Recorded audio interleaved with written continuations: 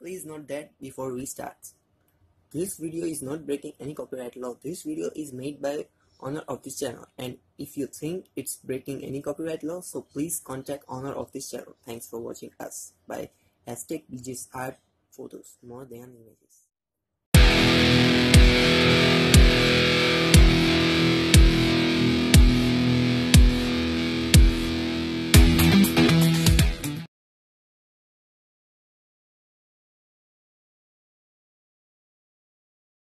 તો આજનો આપણો ટોપિક છે, ચાલુ વર્તમાન કાળ. જેને ઇંગ્લિશમાં કહેવામાં આવે continuous present tense that means ચાલુ વર્તમાન કાળ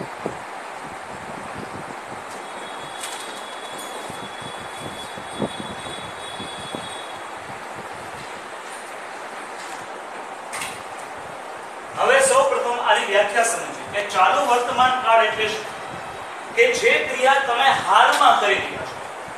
પાંચ મિનિટ પહેલા શું થઈ ગઈ? એ નહીં.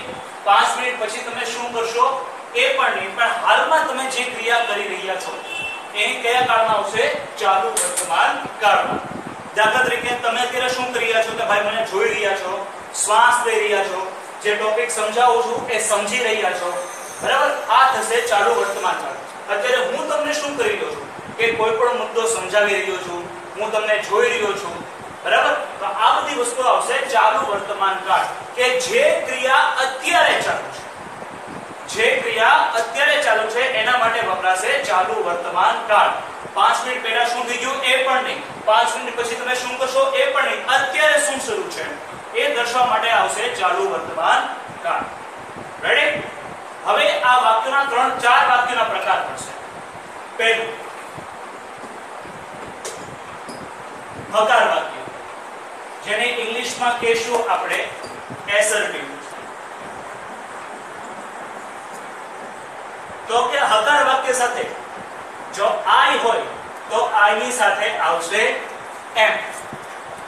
જો કર્તા તરીકે વી, યુ કે ધે હોય તો તેની સાથે આવશે આર હી, શી કે ઇટ હોય, તો તેની સાથે આવશે ઇઝ અને આ તમામે તમામ સાથે ક્રિયાપદનું આઈએનજી વાળું રૂપ આવશે. ફરી એકવાર હગાર વાક્ય, જેને ઇંગ્લિશમાં કહેશું આપણે એસર્ટિવ. આઈ હોય કર્તા તરીકે, તો આઈ સાથે એમ. વી યુ ધે હોય, તો વી યુ ધે સાથે આર. તથા હી શી ઇટ હોય, તો હી શી ઇટ સાથે is will be I am, we are, you are, they are, he is, she is, it is. બરાબર? આ તમામે તમામ. અને એની સાથે શું આવશે? ક્રિયાપદનું ing વાળું રૂપ. ચાલુ કાળમાં હંમેશા ચાલુ વર્તમાન કાળ હોય ચાલુ ભૂતકાળ હોય કે ચાલુ ભવિષ્યકાળ હોય એની સાથે હંમેશા ક્રિયાપદનું ing વાળું રૂપ આવે. સાદો કાળ હોય સાદો વર્તમાન કાળ સાદો ભૂતકાળ કે સાદો ભવિષ્યકાળ તો એની સાથે હંમેશા ક્રિયાપદનું મૂળ રૂપ આવે. જ્યારે ચાલુ કાળમાં ક્રિયાપદનું આઈએનજી વાળું રૂપ આવે. જ્યારે પૂર્ણ કાળ હોય તો ક્રિયાપદનું ભૂત કૃદંતનું રૂપ આવે. એમ, આ ચાલુ કાળમાં ક્રિયાપદનું કોઈ રૂપ આવશે? આઈએનજી વાળું. આમાં ખ્યાલ આવી ગયો હકાર વાક્યમાં? ઓકે સેકન્ડ નકાર વાક્ય. જેને આપણે ઇંગ્લિશમાં કહીશું નેગેટિવ સેન્ટેન્સીસ જેમાં જો કર્તા તરીકે આઈ હોય, તો આઈ ની સાથે એમ નોટ અથવા એમ નોટનું ટૂંકું રૂપ એન્ટ અથવા આર્ન એમ નોટનું ટૂંકું રૂપ એન્ટ અથવા આર્ન એમ નોટનું ટૂંકું રૂપ એમન્ટ થતું નથી. આવો શબ્દ અંગ્રેજીની ડિક્શનરીમાં જ નથી. એમન્ટ થાય નહીં. ઘણા વિદ્યાર્થીઓ શું કરે કે એમ નોટનું ટૂંકું રૂપ એમન્ટ લખી નાખે, પણ એમન્ટ જેવો કોઈ શબ્દ છે જ નહીં. રેડી એટલે એમ નો નું ટૂંકું થશે એન્ટ અથવા આરન આ યાદ રાખજો, અને એન્ટ નો સ્પેલિંગ થશે A I N apostrophe T પછી વી યુ કે થે સાથે વપરાશે. આર નોટ અથવા તેનું ટુકોરું આર બે માંથી તમે કોઈ પણ એક શબ્દ યુઝ કરી શકો. હી શી કે ઇટ સાથે વપરાશે ઇઝ નોટ અથવા ઇઝ અને આ તમામે તમામ સાથે કયું રૂપ વપરાશે? ક્રિયાપદનું આઈએનજી વાળું રૂપ. ક્રિયાપદનું આઈએનજી વાળું રૂપ વપરાશે. બરાબર? I am not we are not you are not they are not he is not કે હકાર વાક્ય અને નકાર વાક્યમાં ક્રિયાપદનું આઈએનજી વાળું રૂપ વપરાય છે. હકાર વાક્ય ખ્યાલમાં આવી ગયો, નકાર વાક્ય ખ્યાલમાં આવી ગયો. હવે વાક્યનો ત્રીજો પ્રકાર એ છે હકાર પ્રશ્ન. જેને ઇંગ્લિશમાં કહેવામાં આવે એસર્ટિવ ઇન્ટેરોગેટિવ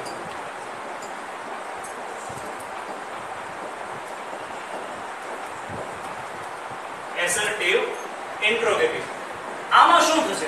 કે જે આપણે એમિઝા વાક્યની પાછળ મૂકતા હતા, એટલે કે કર્તાની પાછળ મૂકતા હતા, આમાં એ એમિઝાર છે, એ કર્તાને ક્યાં આવશે? આગળ આવશે.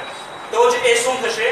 પ્રશ્નાર્થ થશે. સે ફોર એક્ઝામ્પલ આઈ ની આગળ આવશે એમ દાખલા તરીકે એમ આઈ અને છેલ્લે પ્રશ્નાર્થ હોવાને લીધે ક્વેશ્ચન માર્ક મૂકવો કેવો છે? જરૂરી છે. જો ઇંગ્લિશમાં તમે question mark comma inverted comma full stop આ બધી વસ્તુ ન મૂકો, તો તમારા માર્ક કપાવવાની સંભાવના રહે.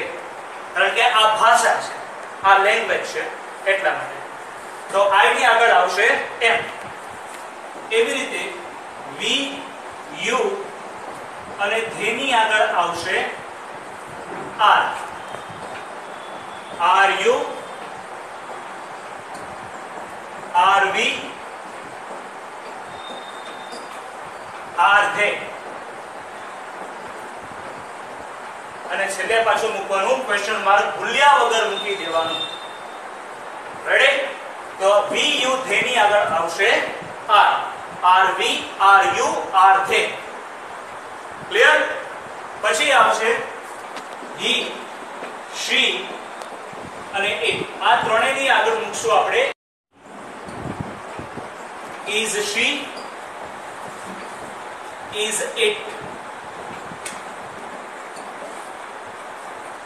અને આ ત્રણેય બાબતોમાં આપણે શું ધ્યાન રાખવાનું? કે આપણે આઈ ની પાછળ હકાર અને નકાર વચ્ચેમાં આઈ ની પાછળ એમ મૂકતા હતા. વીયુ ધે ની પાછળ આર મૂકતા હતા હિશી શી પાછળ ઇઝ મૂકતા હતા. તો એમાં આપણે બધા અક્ષર સ્મોલમાં કરતા હતા. એટલે કે બીજી એબીસીડી માં, ત્રીજી એબીસીડી માં, અથવા ચોથી એબીસીડી માં કરતા હતા. પણ પ્રશ્નાર્થ આવે અને પ્રશ્નાર્થમાં પહેલું વાક્ય ઓલવેઝ બી કેપિટલ હંમેશા પ્રથમ વાક્ય કેવું થશે? કેપિટલ થશે. બરાબર? એમાં આઈ આઈ જે છે એ સિંગલ છે, એકલો છે, એટલે આઈ પણ હંમેશા કેવો થશે? કેપિટલ થશે. એટલે કે જ્યારે પ્રશ્નાર્થી તમે કોઈ પણ વાક્યની શરૂઆત કરો, ત્યારે એનો ફર્સ્ટ લેટર એનો પ્રથમ શબ્દ કેવો થવો જોઈએ? કેપિટલ થવો જોઈએ. ક્લિયર હવે ચોથું. નકાર પ્રશ્ન.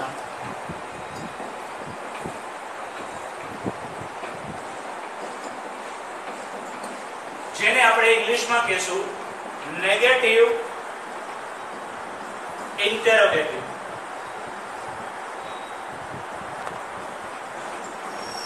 નેગેટિવ ઇન્ટરોગેટિવ હકાર ને એસર્ટિવ ઇન્ટ્રોગેટિવ જ્યારે નકાર પ્રશ્નાર્થને નેગેટિવ ઇન્ટ્રોગેટિવ બરાબર? મોટા બધા લોકોના બાળકોના મનમાં એમ છે કે સાહેબ ત્રણ પ્રકારના સવાલ પડે હકાર, નકાર, પ્રશ્નાર્થ. પણ ના, પ્રશ્નાર્થમાં પણ બે પ્રકાર પડે. હકાર પ્રશ્નાર્થ અને નકાર પ્રશ્નાર્થ. હવે એમાં સેમ આને આ છે. ફક્ત આપણે શું મૂકવાનું, ઉમેરવાનું રહેશે? નોટ આઈ તો ની આગળ વપરાશે એમ નોટ. દાખલા તરીકે એમ આઈ નોટ અથવા am not I am not I અથવા એનું ટૂંકું રૂપ આંટ આઈ અથવા આરંટ આઈ આ કોઈ પણ રીતે તમે લખી શકો છો. વાક્ય પૂરું થાય એટલે વાક્યના અંતે પ્રશ્નાર્થ ચિહ્ન કરવાનું ભૂલવાનું નહીં. બરાબર? તો આઈ ની આગળ આવશે am not. M I not એ લખી શકો અથવા એમ નોટ આઈ પણ લખી શકો. અથવા આ બે તમને ન ફાવે તો તમે એનું ટૂંકું રૂપ સાથે તમે વાક્યને લખી શકો. આંટાય અથવા આરંટાય હવે આવ્યું વી યુ ધે. તો વી યુ ધે ની આગળ આવશે are not. Are not v are not u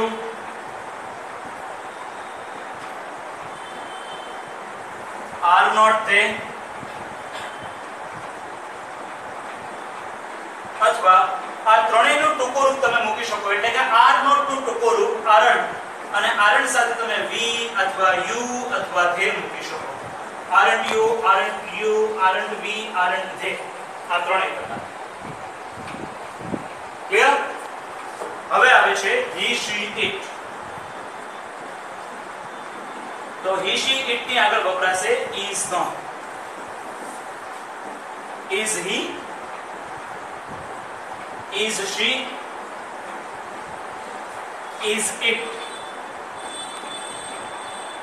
અને આમાં એનું નકાર મૂકવામાં આવ્યું એટલે is not he is not she, is not it, અથવા આ ત્રણેયનું ટૂંકું રૂપ isn't, he, she, it. અને છેલ્લે વાક્યના અંતે પ્રશ્નાર્થ. ચિહ્ન આ મૂકવાનું, ભૂલવાનું નહીં.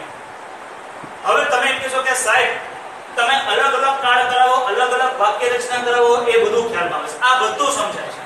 પરંતુ જ્યારે એક્ઝામ આવે ને, ત્યારે એક્ઝામમાં કેવું થાય કે જે પેરેગ્રાફ વાળી અમને ખાલી જગ્યા પૂછાય. ત્યારે મગજમાં થાય ડિસ્કો ત્યારે કાંઈ આવડતું હોતું નથી. તો અમને ખબર કેમ પડે કે આ ખાલી જગ્યા ચાલુ વર્તમાન કાળની છે? તો એના માટે વપરાય છે કીવર્ડ્સ કે જે શું શબ્દો ઇન્ડિકેટ કરે છે કે આ ખાલી જગ્યા કે આ વાક્ય કોનું છે? ચાલુ વર્તમાન કાળનું છે. દાખલા કયા કયા એવા કીવર્ડ્સ છે? Okay, at present, at presently,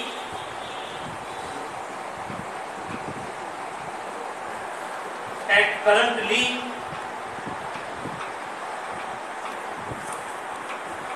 now listen, watch, hear,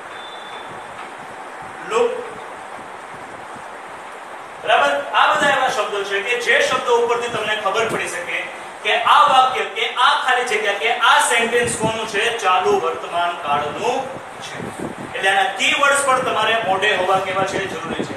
જો તમારે કીવર્ડ્સ સારા હશે, જો તમારી વાક્ય રચના પરફેક્ટ હશે, તો તમને કોઈ પણ ક્યારેય કાળમાં તકલીફ પડશે નહીં. ફરી એક વાર ચાલુ વર્તમાન કાળ કે જે ક્રિયા ચાલુ હોય, એના માટે વપરાશે ચાલુ વર્તમાન કાળ. આઈ સાથે એમ વી યુ તે સાથે આર હી શી ઇટ સાથે ઇઝ અને આ તમામે તમામ સાથે ક્રિયાપદનું આઈએનજી વાળું રૂપ